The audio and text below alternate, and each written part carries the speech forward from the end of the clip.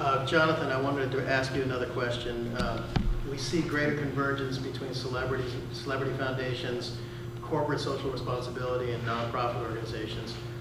Can you describe where you see this convergence taking the field of sports philanthropy in years to come?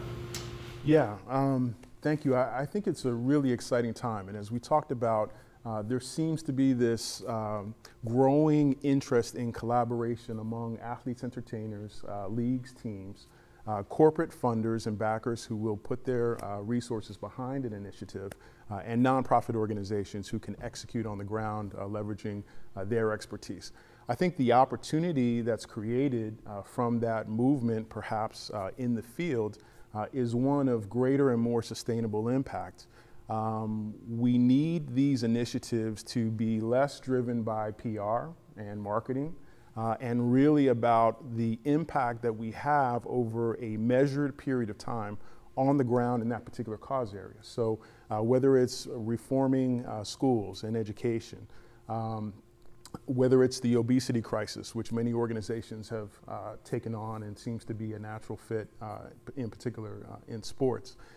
I think where the opportunity is and where the need exists for cross collaboration among organizations working in this space to elevate the level of our work, uh, to empower the practitioners, the athletes and entertainers themselves, the staff uh, that implements uh, these solutions on behalf of teams and leagues, uh, to work more collaboratively, to share best practices, um, I think forums like this, and ASU certainly has a, a great forum to do this type of work.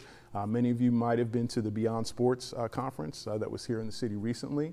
Um, typically, what we find is people who are sharing their experiences, uh, and some learnings can be gained from that. But what I think is lacking right now, and where that opportunity exists, uh, is for real whiteboarding sessions where people can share their best practices what has worked in a particular market on a particular issue, and how can that be replicated um, by others in other cities across the country uh, or uh, globally uh, in order to, again, draw from each other the strengths of what we've done well, establish a baseline of best practices, and then go in deeper with multi year efforts. The other, I think, challenge that exists in particular for sports philanthropy is that we typically see seasonal commitments okay, this season we're going to take on this cause. The next season we're going to take on another cause. But that doesn't really allow for the type of real sustained impact that we need.